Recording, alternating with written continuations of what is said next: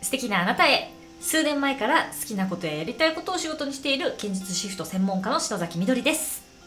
今日はですね幸運の前兆だったりとか、えー、幸せを招く印ですね。幸運のサインですね、えー、そういったテーマでお話をしていきたいと思います。幸運とは程遠いなぁと思ってる今ねこれをご覧のあなたもですね最後までご覧いただくとあもしかしてこれってもうそうだったんだと。その前兆来てたんだっていう、えー、ことに気づくかもしれませんので、ぜひ最後までご覧いただけると嬉しいです。はい。まあね、よくね、あの、幸運のサインとか前兆とかで、ね、Google で検索するといろんな前兆、えー、紹介してくれてる人いっぱいいますよね。サイトでもそうだし、YouTube のね、動画でもいっぱい出ているじゃないですか。で、えっ、ー、と、それらの全てが確かにね、私も、あのー、そうそうそうって幸運の前兆だなって思えるようなものっていっぱいあるんですが、とはいえ、それでなんか、うん、全部が全部自分に当てはまるのかっていうとそうではない可能性がありますよね。で、これをご覧のあなたもですね、私もこれからね、私はこんな前兆あったよっていう紹介はしていくんですけれども、あの、ご自身の中で実体験として精査するじゃないですけど、えー、確認していくっていうのをやってみてほしいんですね。人によってやっぱり現れ方って絶対違うと思うんですよね。現実がみんな違うように。で、私のね、えっ、ー、と、先日 LINE でもですね、紹介させていただいたんですけど、あの、LINE に登録していただくと、あの、定期的に私からね、その LINE でしか配信してない、えー、コラム的なね、あの、のを配信してるんですけど、そこでよく、あのこんな人いるよっていう紹介をしたりとか、えー、してるんですね。で、そこであの運がね、この、この2ヶ月半ぐらいで、えー、どんどんどんどん人生ね、激変させている方のブログを紹介させていただいたんですよ。で、えー、その方、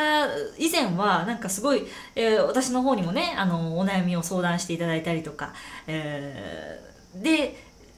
すごく現実がもう本当に最悪ですっていうような状況をね、え、お悩みとして共有していただいてたんですけど、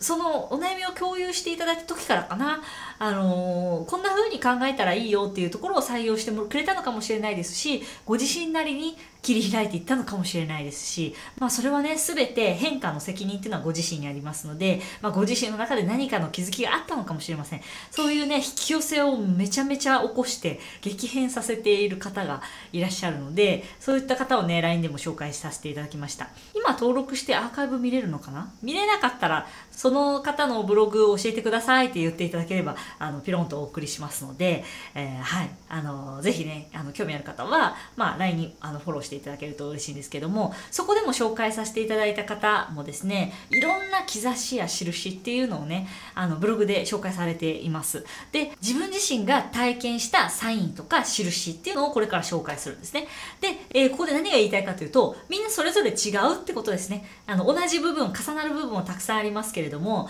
いろんな現れ方があるんだよっていう前提をもとに、この動画をね、ご覧いただきたいんですね。で、えー、これからお話しする中で、よく見る、ああ、あるあるっていうのもあるかもしれないですし、これもそうなのかっていうものもあるかもしれない。えー、ご自身の中で、えー、ヒントとしてね、あれこれあったぞっていうものがあったら、もうすでにあなたはやっぱり幸運だったっていう、えことなので、え今日からですね、も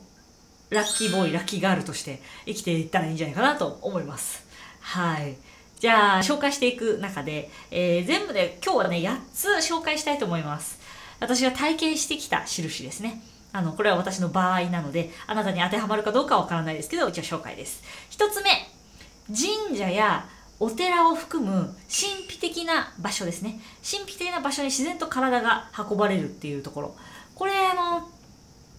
自分で行こうと思うのもそうなんですけれども、大抵私の場合、なぜか行く羽目になるっていうことが結構多い時、えー、もしくはそうなってる時にあこれなんか来てるなとサインかなって思ってますね。えー、それは神社やお寺だけじゃなくていわゆる神秘的なねパワースポット的な場所もそうです。ここのエネルギーなんか違うなみたいなようなところもそうなんですよね。なぜか体がそこに運ばれていくっていう時、えー、それってやっぱり自分自身の意思ではないのでその体がそこに向かわされるってことはその全体の動きのその一部の流れとして働けてる状態なのでシンクロもね体験しやすい状態なんですよ。シンクロってまあ頻繁に起きてるんですけどそれに気づけるか気づけないかだけの話でもあるんですがそれに気づきやすい状態であるということですね。だからこの自然と体がそのパワースポット的なところに流れていってるっていう時はおっとなんか来てるぞって思っていいんじゃないかなと思いますね。2つ目。テントウムシが家の中にいる。これね意外なんですけど私これねいろいろこう皆さんの幸運の前兆を見てやった時にあーっと思って。私もこれあったっていうのでこれ私の中で意外だったんですけどテントウムシが家の中にいるっていうので、えーと、その時期って必ずなんか転機が訪れてるんですよ人生の。で、えー、転機って言っても人生っていきなり激変する人もいればある段階を経ながらどんどんどんどん変化するしてるなって気づく人もいると思うんですよね。で私の場合ガラッと激変するというよりも段階を追って変化してきたなっていう、感覚なのでその時に割とテントウムシ発生してたと。でそういうことに気づきやすい意識状態だから天気だと思えてるのかもしれないですけどまあでもその現実に現れているのにこうそういうところを気づけるってことはやっぱりそれは前兆なんじゃないかなと思いますね。はい、で3つ目。これよく皆さん言われてますね。彩雲を見る、えー、虹色の雲だったりなんだろうな不思議なね色をした雲あるじゃないですか。虹ってわけではなくて雲が虹色のかをしているみたいな。で私の中で彩雲ね過去見た時やっぱりねことごとくこう人生の変わり目だった時なんですけど一番すごい綺麗だったなっていう彩雲があのエメラルドグリーンというかブルーがちょっと結構濃くてあのキラキラしてたんですね。あもちろんあの赤系の色も入ってたりとかレインボー色ではあるんですけどちょっとブルーが濃くてキラキラしてるターコイズブルーのようなね、えー、色の雲を見た時になんじゃあれやみたいな宇宙船かなって思ったぐらいなんか不思議な色をしてて。なんかそうあれはやばかったですね。あの時の天気は。で4つ目。えー4つ目。これもちょっと今の流れでややこしくて申し訳ないんですけど天気の変化がよくわかる。えー、天気の変化っていうのはあもうすぐ雨降るなとかすんごい晴れてるのに雨雲なんてどこにも見えないのになんだかわからないけど雨降る気がするとかね。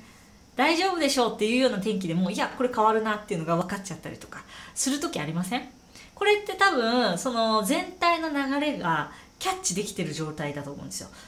あの意識状態が広がってるっていう感覚ですね。なのでやっぱりそれっての波に乗りやすい状態なので幸運の前兆だろうなって私は思いますね。はい。5つ目。無条件に心がぐるぐるするワクワクするっていう状態ですね。えー、心何て言うんだろうな。ただのワクワクだけじゃなくて何とも言えないなんだろうこの高揚感みたいな時ありません？私結構定期的にあるんですよね。何か訳も分からずビジョンが見せられてるわけでもなく訳も分からずこうウキウキしちゃうっていう時あるんですよね。でその時大抵もう変わり目だなって思いますね。あの必ず何かが起きるんですよ。何かが起きるっていうのはもちろんいいこと。いい出来事ですね。はい。6つ目。6つ目は鳥や蝶がやたらと目の前を飛び交う瞬間に出出くわすっていうこと。結構これあります私も。あのー、ひらひらひらひら舞うんですよ。蝶だったり鳥だったりが。でしかもそれがうんってそっちに意識を強制的に向けられるぐらいに強烈な舞い方をするんですね。蝶もそうです。私を見てと言わんばかりのその存在感の発揮の仕方をするわけですよ。おってこの時に思いますね。なんか起こるのかなって。で案の定やっぱりそれは好転している前触れだったりするんですけどね。であとこれ意外かもしれないです。えっ、ー、と7つ目。好きな色をよく目にする。これあのー、自分の中でなんかこの色好きだなっていうのってありません？人によってはねもしかしたらあのパールのような色が好きかもしれないし人によってはあのオレンジが好きとか赤が好きとか青が好きとかあるかもしれないですね。こういった色をよく目にする。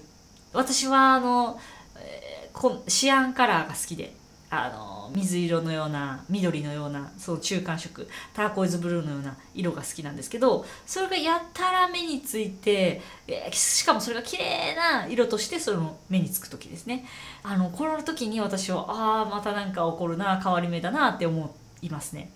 あの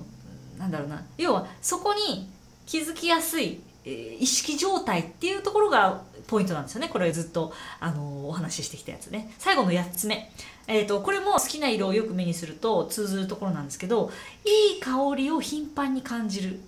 えー、香りの出会いとかもそうですね。私最近あの香油っていうのに出会ったんですけどその香油がすごい私の中で衝撃的な香りの出会いだったんですね。香水とはまた違っていて香水ってなんかアルコールが含まれてたりするんですけど確かその香油ってアルコールが含まれない香りの元みたいな感じ。油オイルか。香りのオイルみたいなものなんですけど不思議な何とも言えないこう香り。五感を刺激されるやつってあの私の中で結構要注意ポイントなんですよあのいい意味での。そうでそのいい香りを頻繁に感じる時だったりとか見つけた時この香りは何だっていうことでこう見つけられた発見できた時に私の中であってまたなんか始まるなとか新しい出会いがあるのかなとかあ新しいことが起きるなっていうのがありますね。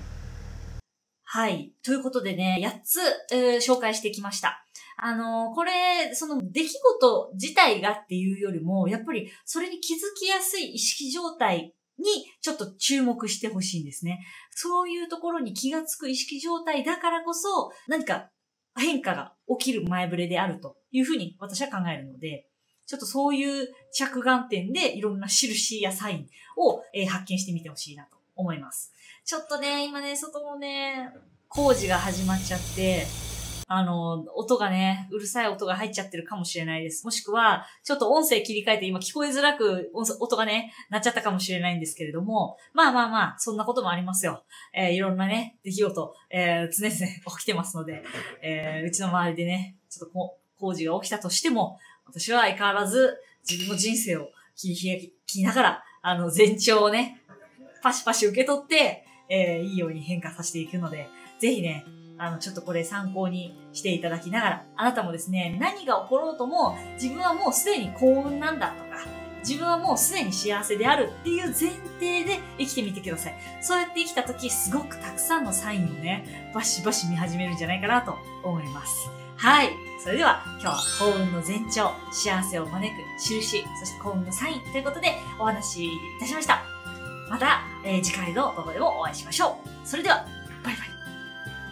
私はインターネットを使って好きなことややりたいことを仕事にできております。これはですね、ビジネスやマーケティングの知識がとっても大事になるんですね。で、それよりもっともっと大事になるのが、恐れを乗り越えて行動する力、そしてたった一度のチャレンジに終わらず継続する力、そして仮説を立てて検証する期間を乗り越える力、こういった力がとても大事になります。えー、私自身が何をやってるのかとか、レッスン受講者さんがどんな風に変化しているのかというのを LINE の方でシェアしておりますので、ぜひ、えー、フォローしておいてください。LINE にフォローしていただきますと、明日死んでも後悔しないと思えるぐらい今日という一日を素敵に生きれるエッセンスが詰まった動画をプレゼントしておりますので、ぜひ受け取ってご覧ください。